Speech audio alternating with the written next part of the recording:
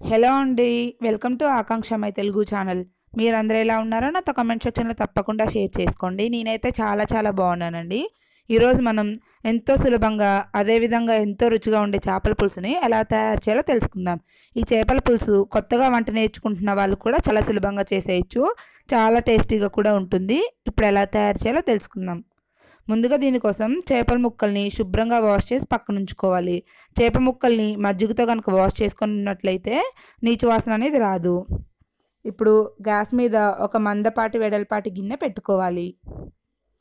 ఇప్పుడు అందులో తగినంత ఆయిల్ కూడా వేసుకోవాలి.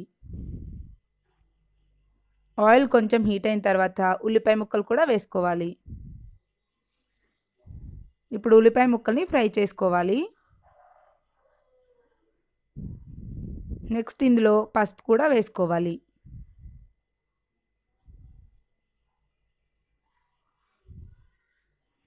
పసుపు కూడా వేసుకున్న తర్వాత ఇందులో అల్లం వెల్లుల్లి పేస్ట్ కూడా వేసుకోవాలి.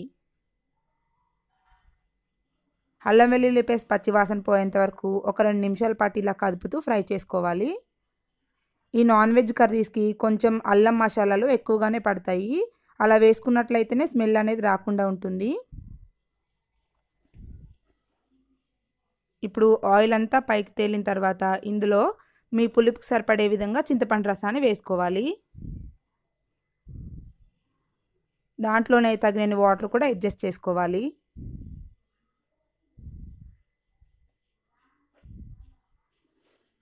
ఇప్పుడు ఇందులో రుచికి సరిపడా ఉప్పు అదేవిధంగా కారం కూడా వేసుకోవాలి.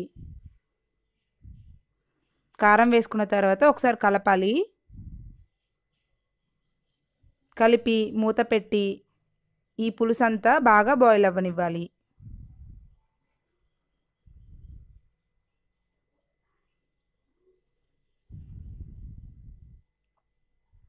ఇలా పులుసు బాగా మరుగుతున్నప్పుడు చేప ముక్కలు వేసుకోవాలి.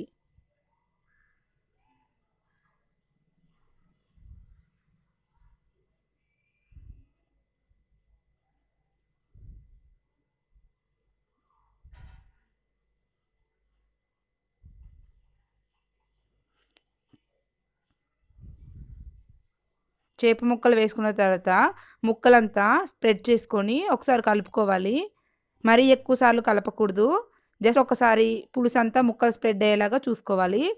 ఇప్పుడు మూత పెట్టి పులుసుని బాగా మరగనివ్వాలి. చూసారు కదా? ఇలా బాగా బాయిల్ అవ్వనివ్వాలి. మీడియం ఫ్లేమ్లో పెట్టి బాయిల్ అవ్వనివ్వాలి.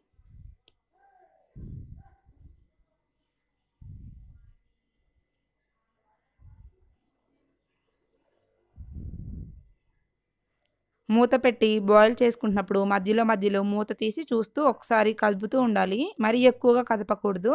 ముక్క అనేది విచ్చుకొని పోతుంది. ఇలా బాగా పులుసు చిక్కబడిన తర్వాత ముక్క కూడా ఉడికిన తర్వాత కొంచెం ధనియాల పొడి వేసుకోవాలి. కావాలంటే గరం మసాలా కూడా వేసుకోవచ్చు. ఇలా మసాలా వేసిన తర్వాత జస్ట్ వీడియోలో చూపించిన విధంగా ఇలా స్ప్రెడ్ చేసుకోవాలి మసాలాని. మనము గరిట పెట్టి కదిపితే ముక్క అనేది విరిగిపోతుంది.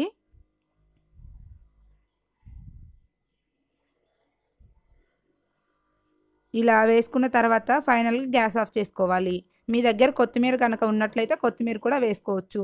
అంతే మన చేపల పులుసు రెడీ అయిపోయింది. Thanks for watching. Bye bye